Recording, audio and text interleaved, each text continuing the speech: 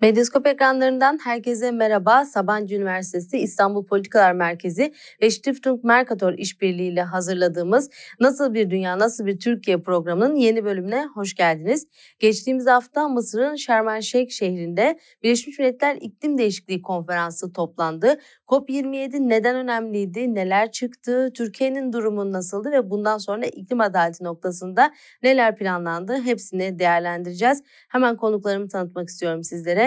Sabancı Üniversitesi İslam Politikalar Merkezi kıdemli uzmanı, iklim çalışmaları koordinatörü, halk sağlıkçı Doktor Ümit Şahin konuğumuz. Ümit Hocam hoş geldiniz. Hoş bulduk, merhabalar. Merhabalar hocam. Orta Doğu Teknik Üniversitesi İktisat Bölümü öğretim üyesi Profesör Doktor Ebru Voyvoda da diğer konumuz. Ebru hocam hoş geldiniz. Hoş bulduk, merhabalar. Merhabalar hocam. Hemen şöyle başlayalım Ümit Hocam sizde. Şimdi COP27'yi biz de farklı açılardan aslında takip etmeye gayret ettik.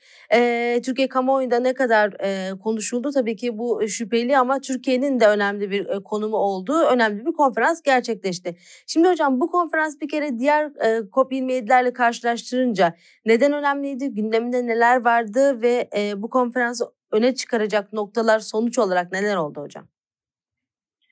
Şimdi aslında e, COP27 e, bütün bu e, taraflar konferansları tarihindeki en önemli COP'lardan biri değildi başlangıçta. Biliyorsunuz 2015'te Paris Anlaşması yapıldıktan sonra birkaç yıl onun uygulama kuralları belirlenmeye çalışıldı. Epey de uzun sürdü. 2000 en son geçen yıl bir yıllık da 2020'de e, Covid arası oldu. Ondan sonra Glasgow'da geçen sene e, oldukça önemli kararlar alındı. Hem uygulama e, kural kitabı yazıldı, bitirildi daha doğrusu. Hem de aslında e, biraz da sürpriz denebilecek bir şekilde e, bir buçuk derece e, kararı netleştirildi. Yani iklim e, değişikliğini, küresel sıcaklık artışını bir buçuk derecede sınırlama kararı netleştirildi. Ve kömürün azaltılması, kömürden çıkış olmasa bile kömürün azaltılması konusunda ve fosil yakıt e, teşviklerinin sonlandırılması konusunda e, önemli denebilecek bir karar alındı. Şimdi bu sene aslında uygulama kopu olarak adlandırılıyordu. Uygulama kopu da e, bu e, alınan daha önce alınan kararların e, artık nasıl e, hayata geçirileceğinin bir tür yol haritasının çıkarılacağı bir e, konferans e, olması anlamına geliyor. Mısır'ın iddiası da yani ev sahibi Mısır'ın, Mısır Başkanı'nın iddiası da bu bir uygulama kopu olacak ve bir Afrika kopu olacak. Yani Afrika kopundan buradaki kasıt da aslında daha çok gelişmekte olan ülkelerin, Afrika ülkelerinin, daha kırılgan olan ülkelerin ön planda e, haklarının savunulacağı ve onların finansman imkanlarının uyum e, ve kayıp zarar gibi fonlarla e, garanti altına alınacağı bir fon şey bir kop iddiasında bulunuldu. E, dolayısıyla bu açıdan e, hem eskisi kadar diğerleri kadar önemli görünmeyen ama bir yandan da e, iddialı hedeflerden de bahsedilen bir koptu. E, ancak tabii burada önemli bir nokta daha vardı. Enerji krizinin tam içinde bu kop e, yapıldı. Enerji krizinin de e, biliyorsunuz e, şöyle bir etkisi oldu. Bazı ülkelerde özellikle Avrupa'da gazın e, kullanımındaki sıkıntılar nedeniyle işte Rusya'dan gelen gazla ilgili sorunlar nedeniyle farklı ülkelerden gaz kaynaklarının kullanılması nedeniyle aslında bir tür gaz altyapısının e, tekrar e, ön plana geçmesi ya da geliştirilmesi gibi bir sorun ortaya çıktı. Bir de buna bazı ülkelerde kömür santrallerinin tekrar yedekte ya da e, beklemede de olsa devreye alınması e, kömürün daha fazla konuşulmaya başlanması gibi bir durum ortaya çıktı ve bunu e, aslında iklim e, çözümünü ve enerji dönüşümünü engellemeye çalışan çevreler, ağırlıklı olarak kömür ve fosil yakıt çevreleri, işte bakın e, bir krizde e, enerji dönüşümü bitti, kömür geri geliyor diye bir şeye başladılar. Burada önemli olan şey şuydu, bütün bu propagandaya rağmen e, dünyanın bütün e, gelişmiş ve gelişmekte olan ülkeleri e, tek bir ses olarak neredeyse e, Mısır'da e, böyle bir şeyin söz konusu olmadığını, e, enerji dönüşümünün devam edeceğini ve hatta enerji krizine asıl çözümün e, fosil yakıtlardan uzaklaşmak, yenilenebilir enerjiye, e, işte enerji verimine dayalı yeni bir sistem kurmak olduğunu net bir şekilde söylediler. Bu açıdan aslında e, bir e, teyit olmuş olabilir Glasgow'daki kararları. Bir de bir buçuk derece e, hedefi teyit edildi. Aynı şekilde oradan bir geri adım atılmadı. e, kömürün azaltılması ve fosil yakıt teşviklerinden çıkılması konusunda da bir geri adım atılmadı. Ama bunları hızlandıran bir karar da alınmadı. E, dolayısıyla e, çok tartışılan bir konuydu bu. Bütün fosil yakıtlardan çıkışın e, kararlara girmesi talebi vardı. Hindistan'ın e, bir anlamda blöfüyle başlayan ama daha sonra Avrupa Birliği'nin ve Amerika'nın e, bunu kabul etmesiyle ciddiye binen e, sadece kömürün değil bütün fosil yakıtların e, kademeli olarak azaltılması hatta 2050'ye kadar bunlardan tamamen çıkılması gibi bir karar e, neredeyse karar metnine girecek kadar e, ön plana geldi gündemde. Ama işte e, Mısır'ın e, muhtemelen petrol üreticisi ülkelerin Suudi Arabistan, Rusya, Birleşik Arap Emirlikleri gibi bunların e, baskısı ve etkisiyle e, bu kararın girmesine izin vermediğini yani fosil yakıtlar konusunda aslında yeni bir yol alamadığımızı gördük. E, bir de 2025'te bütün emisyonların, küresel emisyonların e, en üst noktaya çıkarılıp düşürülmesi yani peak yapması e, kararı da yine gelişmiş ülkelerin isteğiydi. Bu da e, COP kararlarına giremedi. Bu anlamda e, ilginç bir şekilde gelişmekte olan ülkelerin güneyin daha etkili olduğu bir iklim konferansı yaşadık ve kuzey-güney arasındaki çelişkinin de iyice derinleştiği bir konferans yaşadık diyebiliriz. Şimdi hocam bütün bu anlattıklarınız bu COP27'de de alınan kararlar yani aslında iklim krizi dikkate alınarak e, küresel ekonominin yeniden organize edilmesi gerekliliğini e, hatıra getiriyor. Bunun da belli ki bir e, finansmanı var. E, bu finansmanın da e, gelişmiş ülkelere ya da gelişmekte olan ülkelere nasıl roller düşüyor? E, bu finansman, bu maliyeti nasıl e, karşılanacak? Ebru Hocam e, size de bunu sormak istiyorum. Bütün bu küresel ekonomik sistemin belli ki başka bir şansı yok aslında ama e, bir yandan da ayak direnen e, nokta noktalar da oluyor görüyoruz. Bu iklim finansmanı dediğimiz mevzudan biraz bahsedebilir misiniz hocam? Tabii aslında e, bu yılki COP'un ana iki gündemi ve bu küresel kuzey ve güney ayrışmasına da belki sebep olan iki gündem maddesi hakikaten bir taraftan iklim adaleti, ve bunu gerçekleştirmek için neye ihtiyacımız olduğu, işte kırılgan ülkelerin gerek finansman, e, gerek teknolojik yardım düzeyinde, gerekse kayıp zarar fonu düzeyinde farklı şekillerde e, ortaya çıkan ihtiyaçları ve bunun gündeme net bir şekilde yansıması. Diğeri de aslında hakikaten küresel ekonomiyi bu yönde dönüştürmek için e, ne yapılması gerektiği ki o, o da COP'un gündemine teknoloji olarak girdi. E, bana sorarsanız bu COP'ta artık güneş ve rüzgar e, neredeyse olgunlaşmış teknolojiler olarak e, çok söz konusu edilmedi ama yeni teknolojiler e, önümüzdeki dönemde e, yaygın olarak kullanılabilecek, uygulanabilecek teknolojiler e, bu kapağı anlamda damgasını vurdu. E, Ümit Hocam, e, kuzey ülkelerin ya da gelişmiş ülkelerin e, temel olarak altını çizdiği bir buçuk derece e, emisyonların azaltılması gibi hedeflerin ya da 2025 yılının pik olması gibi hedeflerin e, güneyin ya da az gelişmiş ülkelerin talepleri karşısında geri planda kaldığını vurguladı. Hakikaten aslında bu iki pozisyonlanma yani gelişmiş ülkelerin artık bunu bir maliyet olarak değil bir yatırım olarak görmesi ve bu dönüşümü hem bir yandan büyümeyi sağlayacak, e, bir türlü e, küresel krizden bu yana bir türlü yeniden dinamiğine sokulamamış verimlilik artışlarına sebep olacak. Hem teknolojik dönüşme sebep olacak ve aslında örneğin Amerika Enerji Bakanı'nın kendi ağzından Asya'ya kaptırdıkları sanayileşmeyi de geri alacak bir dönüşüm olarak gördükleri oldukça netti bence. E, ve bu doğrultuda artık küresel ekonomiyi şekillendirmek istedikleri ki bu kendi içerlerinde yani iç ülkelerde Amerika'da Avrupa'da e, önemli yatırımlar ve dönüşüm için yatırım anlamına geliyor. Diğer taraftan küresel ekonomi için ise işte teknoloji ihracatı var e, yoluyla da aslında e, az gelişmiş ülkeleri bu dönüşüme ortak etme amacı güdüyor diye düşünebiliriz diye yorumlayabiliriz diye düşünüyorum. Elbette burada az gelişmiş ülkelerin bu dinamiğe dahil olmak için gereksinimleri gelişmiş ülkelerden çok farklı. Onların gündemi bu teknolojik dönüşüme ada, ayak uydurmak ve adaptasyondan ziyade aslında iklim adaleti, yaşadıkları kayıplar, artan kırılganlıkların ne şekilde tekrar e, gündeme gelebileceğiydi. Ebru Hocam sizin anlattıklarınızdan şunu çıkarıyorum. Belli ki bu iklim e, finansmanı mevzusuna yani bu işin bütün küresel ekonominin buna göre tekrar dizayn edilmesinin maliyetini daha çok gelişmiş ülkeler karşılamak durumunda. Ve gelişmiş ülkelerin de e, COP27'de böyle bir e, mantığa eriştiğini söylediniz. Yani bunu yalnızca bir maliyet kalemi değil de bir yatırım kalemi olarak görmesi iklim kriziyle mücadele etmede e, umut var bir e, adım gibi görünüyor açıkçası bana. Şimdi buradan şuna geçebiliriz. Türkiye'nin e, konumu ne oldu COP27 2027'de e, ve Türkiye'yi nasıl değerlendirmemiz gerekir? E, Ümit Hocam Türkiye bu süreçte neler yaptı, nasıl kendisini gösterdi COP27'de ya da nasıl taahhütler verdi? Bizim için özetleyebilir misiniz?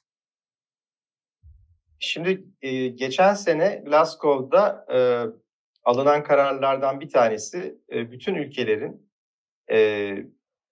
Paris Anlaşması altında verdikleri azaltım hedeflerinin e, çok yetersiz olduğu ve bu yetersizlik nedeniyle de e, hepsinin e, taahhütlerini yenilemesi, güncellemesi gerektiğiydi. Çünkü sentez raporunda e, bütün ülkeler taahhütlerini eksiksiz bir şekilde yerine getirseler bile dünyanın işte 100 yıl sonundan önce en az 2,5 derece ısınacağı hatta 2,5-3 derece arasında e, ısınacağı açıkça ortaya çıkmıştı.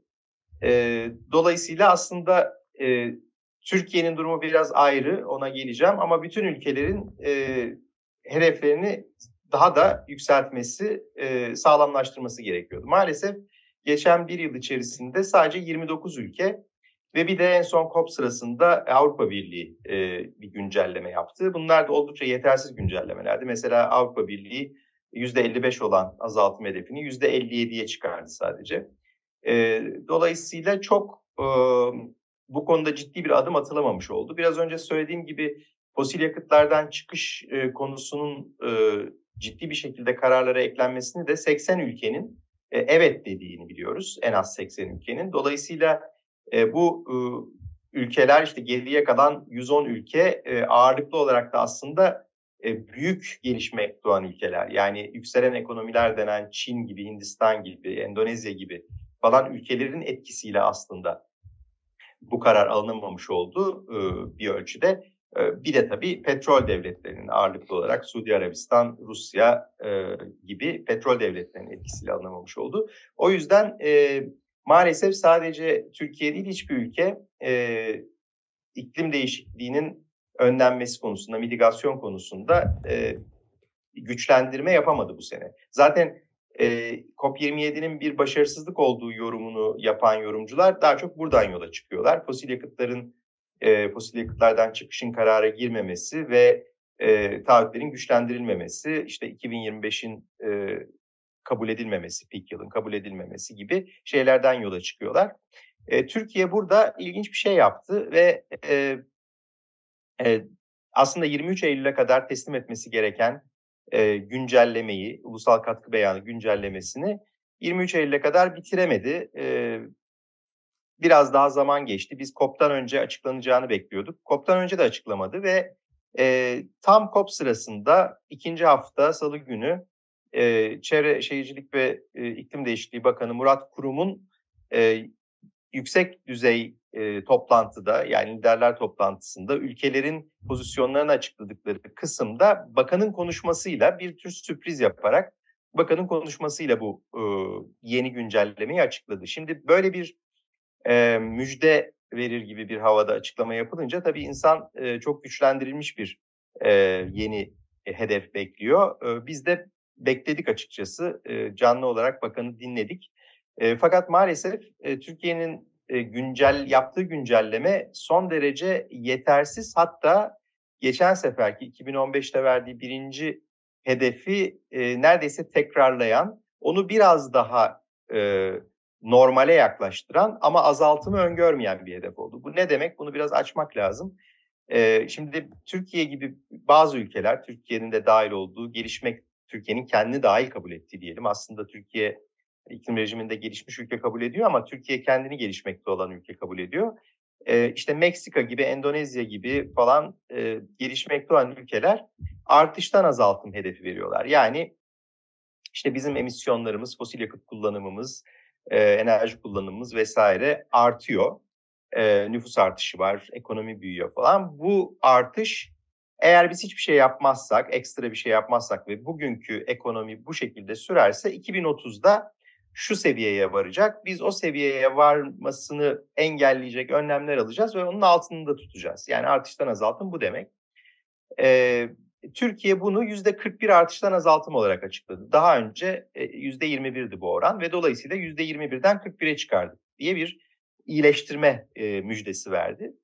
Fakat burada e, yıllardır tekrarladığımız şeyi bir kez daha söyleyeyim. Türkiye bas senaryo dediği yani hiçbir şey yapmadığı ve bugünkü gibi gittiği takdirde emisyonların çıkacağını öngördüğü seviyeyi yıllardır aynı seviye olarak tutuyor.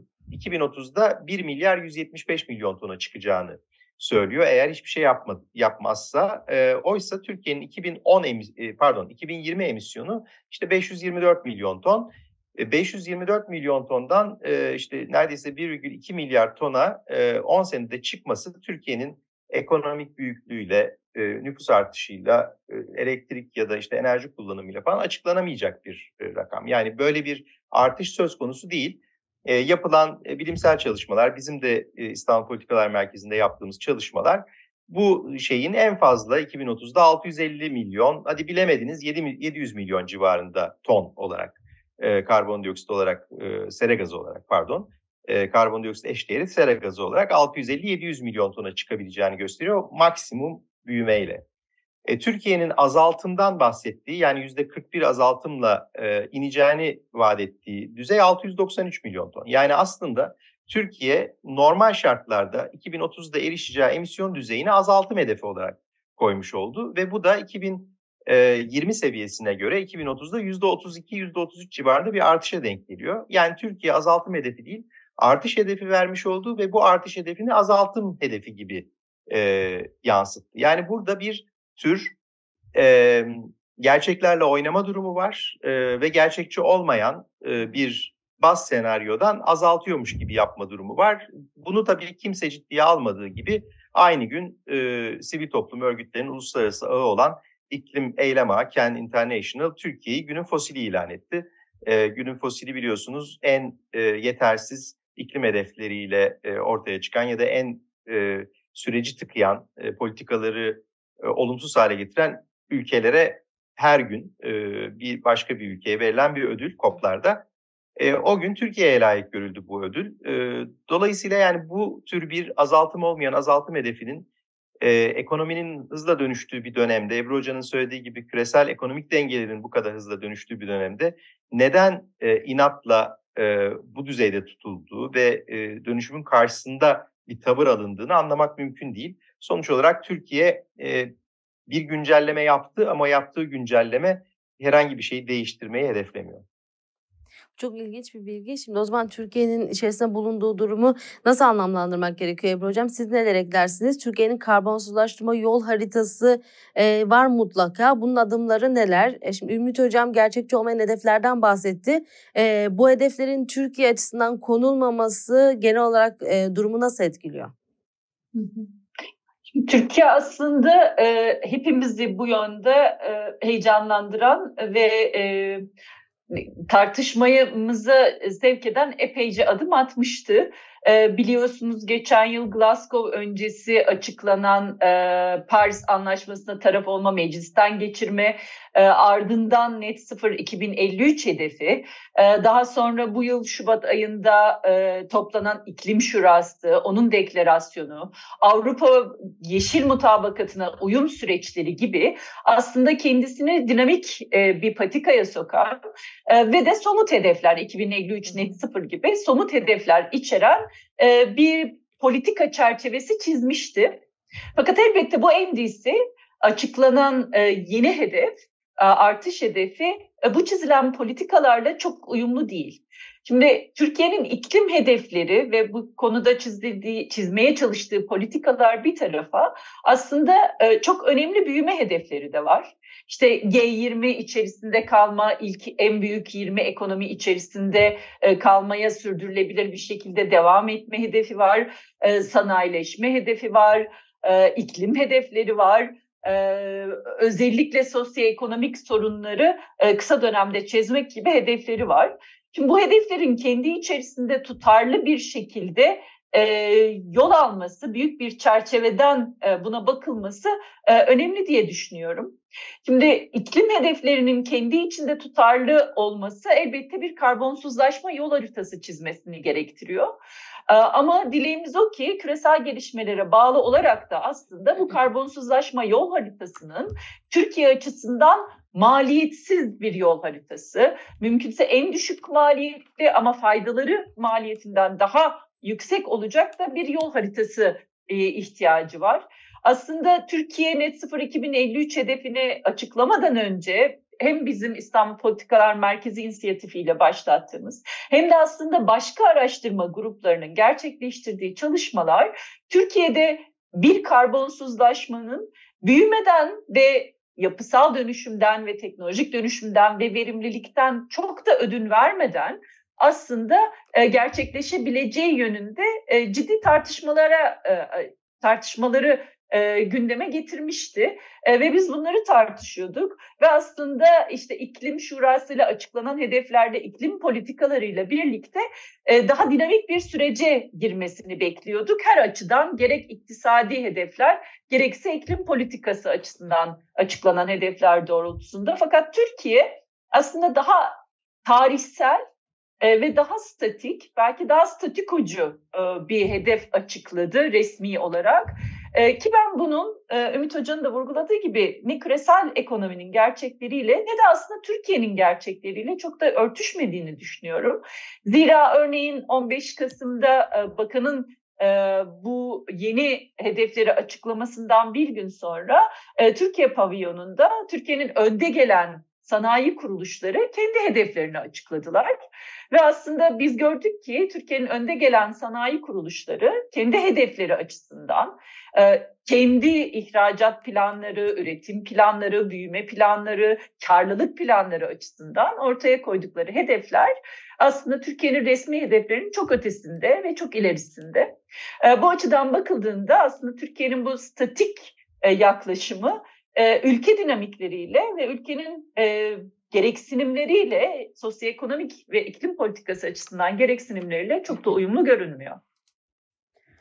Bakalım hem Türkiye hem de diğer ülkeler iklim krizi noktasında neler yapacaklar? Yani en azından COP27'den neler çıktı? Ümit Hocam yine siz de devam edelim. Hocam bundan sonra peki ne olacak? Somut adımlardan bahsettiniz. Örneğin 1,5 derece sınırının hala geçerli olduğunu söylediniz. Bu önemli bir somut adım. Ee, iklim adaletiyle ilgili düşündüğümüzde COP27'den geleceğe dair neler çıktı hocam?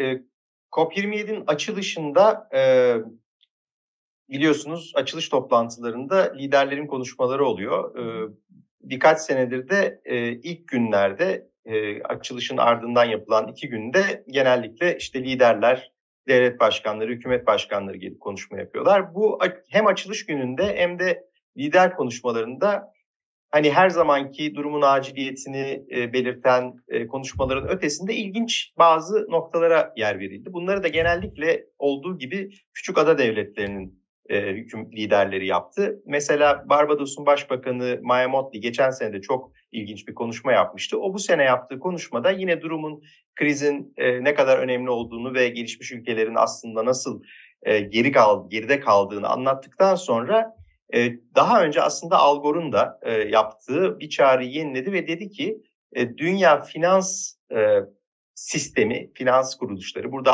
ağırlıklı olarak IMF ve Dünya, Bankası kastediliyor. İşte kalkınma bankaları vesaire. Artık bunların yönetim biçimi, bunların mantığı iklim krizinin finansmanı için bir e, yeterli değil ve ayak bağı olmaya başladılar. Dolayısıyla dünya finans kuruluşlarının e, reforme edilmesi, yeniden düzenlenmesi ve iklim krizine cevap verebilecek bir hale getirmeleri gibi bir çağrı e, yaptılar. E, aynı toplantıda ikinci gündü galiba Antigua Barbuda'nın başbakanı Gordon Brown konuştu. O da çok e, önemli bir adamdır ve çok iklim adaleti konusunda e, çok sağlam çıkışları olan bir insandır. Gordon Brown da e, fosil yakıt şirketlerinin karlarını gündeme getirdi. E, hepimizin bildiği gibi birkaç ay önce e, yayınlanan bir araştırma bütün fosil yakıt şirketlerinin son 50 yılda ortalama günde 3 milyar dolar kar ettiğini ortaya koydu. Yani bütün bu petrol, gaz, kömür şirketlerinin e, günlük karı 3 milyar dolar 50 yıl boyunca. Hatta bu son krizle birlikte bu karlarını katlamış durumdalar. Bu yıl 2 trilyonluk bir kardan bahsediliyor şu ana kadar. Yani daha ilk 9 ayın e, verileri elimizde var. 2 trilyonluk bir kardan bahsediliyor. E, bir de üstüne e, dünyada işte 700 milyon e, pardon 700 milyar mıydı? 700 milyar e, dolara yakın bir e, sübvansiyon var. Yani devletlerin fosil yakıtlara, fosil yakıt şirketlerine sağladığı sübvansiyonların da düzeyi e, bir türlü düşmüyor. İşte G20 toplantısında bu e, COP27 ile paralel olarak yapılan G20 toplantısında mesela bu konuda son derece yetersiz e, sözler edildi. E, sübvansiyonlar devam ediyor, karlar devam ediyor ve Gordon Brown ve diğer gelişmekte olan ülke temsilcileri artık fosil yakıt şirketlerinin bu artan karlarından bir vergi kesilmesi ya da bir kesinti yapılması ve bu kesintinin gelişmekte olan ülkelerin iklim krizinden dolayı yaşadıkları zararların tazmin edilmesinde kullanılması gerektiğini e, söylediler. İşte burada da toplantının en başından itibaren gündeme getirilen ve gündeme alınması sağlanan kayıp ve zarar e, mekanizması meselesi çıkıyor. Kayıp ve zarar mekanizması aslında 30 senedir konuşulan bir konuydu ama e, gerçek anlamda bir isme kavuşması 10 yıl, 9-10 yıl önce oldu. E, işte Varşova Uluslararası Mekanizması kuruldu vesaire. E, buradaki kasıt şuydu. Artık sadece gelişmiş ülkeler, gelişmekte olan ülkelere ya da yoksul ülkelere e, sera gazı emisyonlarını azaltsınlar ya da e, olacak olan, ileride yaşanacak olan sorunlara karşı uyum sağlasınlar diye değil, hali hazırda yaşamış oldukları büyük felaketlere felaketlerle başa çıkabilsinler diye de para vermeli. Yani kayıp ve zarar finansmanı bu demek.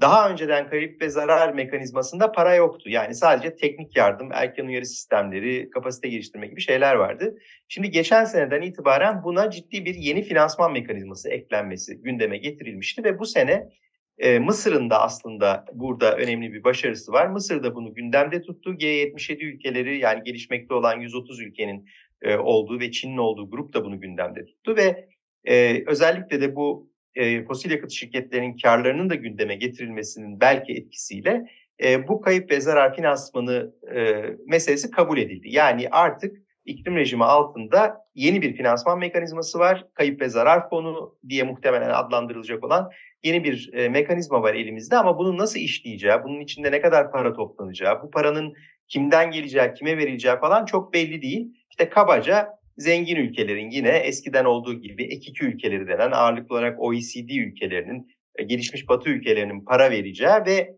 e, daha kırılgan olan gelişmekte olan ülkelerinde faydalanacağı bir fondan bahsediyoruz. Ama bu daha kırılgan olan, gelişmekte olan ülkeler kimler? Bu konuda bir netlik yok. E, yani şu var, 75 ülke civarında bir ülke, bir liste var elimizde. 76 ülke, işte 46 ülke en az gelişmiş ülke, 30 ülkede bunlara ek olarak e, gelişmekte olan ada devletleri bunlar en kırılgan kabul ediliyor. Ama geriye kalan bir 120 ülke var. Bunların arasında işte bu sene Pakistan sellerini, büyük seller yaşayan, 30 milyon kişinin etkilendiği seller yaşayan Pakistan da var. Şu anda açlıktan insanların, bebeklerin öldüğü Kenya'da var vesaire.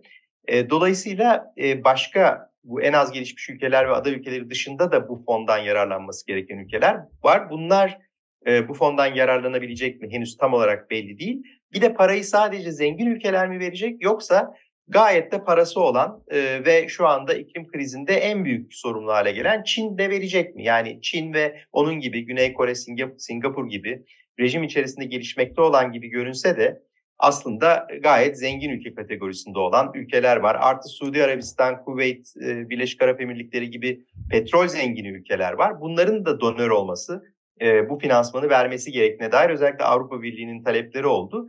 E, ama kabul etmiyorlar. Yani şu anda bu tür bir çok taraflı anlaşma çerçevesinde finansman sağlamak istemiyor bu ülkeler. Hani biz gerekirse veririz gibi bir iki taraflılık e, çerçevesini korumaya çalışıyorlar. E, dolayısıyla bir taraftan bakıldığında böyle yeni bir finansmanın ortaya çıkması ve iklim adaleti e, gerçek anlamda bir iklim adaleti kapsamında. Yani zarar gören ülkeler aslında masum olan ülkeler mantığıyla ortaya çıkan bir e, yeni fonun ben değerli olduğunu ve iklim adaleti konusunda ciddi bir adım atılmış e, olduğunu düşünüyorum. Ama tabii e, biliyorsunuz bir her yıl 100 milyar dolarlık bir iklim finansmanı toplanması meselesi var Paris Anlaşması'ndan beri yapılamıyor. Bu 100 milyar dolara ulaşılamadı. Bu fon çıkarsa buna para toplanır mı? Kim verir? Ee, en önemli vermesi gereken Amerika Birleşik Devletleri para verir mi falan. Bunlar çok e, belli olmayan konular. Nasıl yönetileceği falan belli değil. Ama yine de konunun bu netlikte gündeme getirilebilmesi artık bu yaşanan felaketler iklim değişikliğine bağlı mıdır değil midir gibi tartışmaların geride kalmış olması açısından ve sorumluluğu Batı ülkelerinin de zengin ülkelerinin de sorumluluğu almayı kabul etmeleri açısından e, ben önemli bir gelişme olduğunu düşünüyorum. COP27'nin başarılı olması aslında e, buna bağlı oldu. Yani ben e, bu and damage denen kayıp ve zarar finansmanı ile ilgili bir şey de çıkmasaydı yani bu tam bir başarısız bir kop olacaktı. Başka da pek bir şey çıkmadı zaten. Ama bu tek başına e, COP27'yi kurtarmış denebilir diye düşünüyorum. Hı hı. Çok sağ olun hocam. Ebru hocam son söz sizin. İklim adaleti noktasına atılan somut adımlara dair neler söylemek istersiniz? Özellikle Ümit hocamızın bahsettiği bu kayıp zarar fonu ile ilgili eklemek istediklerinizi almak istiyorum hocam. Bir de şunu eklemek istiyorum. Ümit hocamız da bahsetti bu kayıp zarar fonuna kim ne kadar aktarımda bulunacak, e, e, belirlenen oranlarda aktarımda bulunmazsa ne olacak? Bununla dair herhangi bir yaptırım var mı hocam? Böyle bir mekanizma var mı? Bunu da merak ediyorum. Hı. Henüz kayıp zarar fonunun nasıl işleyeceğinin detayları aslında gelecek yıla bırakıldı. Dolayısıyla kim katkıda bulunacak, katkıda doğal afet olarak e, neyi tanımlayacağız? En kırılgan ülkelerin ne olarak, kim, hangi grup olarak tanımlayacağız? E, bunların somutlaşması gelecek yıla bırakıldı. E, ama Ümit Hoca'nın vurguladığı gibi kayıp zarar fonunun bu yılki COP'un en önemli neticesi olmasının son derece önemli temsili bir niteliği var. E, ve bence bir tarihselliği de var. E, o da aslında hani küresel e, dünyamızda önümüzdeki dönemde e, şekillendirecek bu yeni küresel iş bölümü ya da e, dinamikleri de belirleyecek diye düşünüyorum. Zira aslında bu kopa gelirken az gelişmiş dünyanın biriktirdiği çok fazla sorun vardı. Ee, biz pandemi dönemince aşı adaletsizliğini konuştuk ve işte e, halk sağlığı adaletini konuştuk.